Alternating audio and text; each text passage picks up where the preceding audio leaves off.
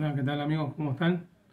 Hoy vamos a hacer un tutorial cortito de, cómo hacer una lista de reproducción para guardar los videos para que eh, los amigos eh, vayan directamente a la lista de reproducción para que puedan ver los videos.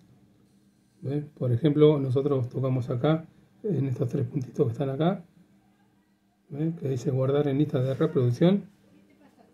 Guardamos ahí, tocamos ahí, acá dice eh, videos del canal, tenemos que tocar acá, dicen, dice video del canal, ahí ve que se pone en azul, después una, una vez que ya tocamos ahí, le damos listo, y ahí ya está guardado en la lista de reproducción, ahí mostramos otro video, guardar en lista de reproducción, videos del canal, tocamos listo ahí, y ahí ya se guardó automáticamente, después vamos a la lista de reproducción para mirarlo. Y acá ya están los videos guardados. Ya acá tenemos los videos guardados que guardamos ahora. Espero que les haya servido el tutorial. Muchas gracias.